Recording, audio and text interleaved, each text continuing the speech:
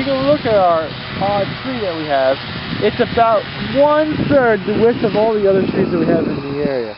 So it's definitely an oddity, definitely something different, and I think it's definitely worth the time to explore.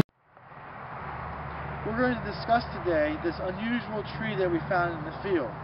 We're going to discuss how this is different from other plants that we've noticed and what we are planning to do with it.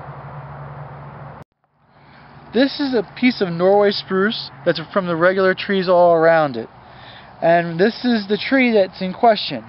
One thing we look at when we compare the two is the size of the plant.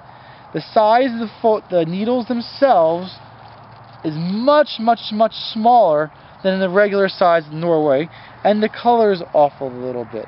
The size difference leads us to believe that this plant is not going to be as big or as wide as a regular Norway spruce, which is what makes it interesting to us. Regular Norway spruces, such as this one here, will grow 30 to 40 feet wide. This one here, if it's continuously growing only about an inch or so every year, it will never get to that size. So it's very, very interesting plant.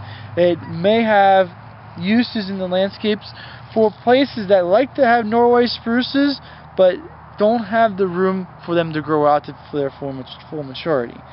So this this is very interesting. We're, we're going to see how it goes.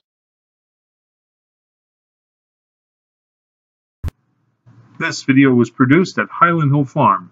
We grow and sell screening and buffering trees in Bucks County, Pennsylvania, and these are our green giant arborvitaes. Call us for your screening tree needs at 215 651 8329.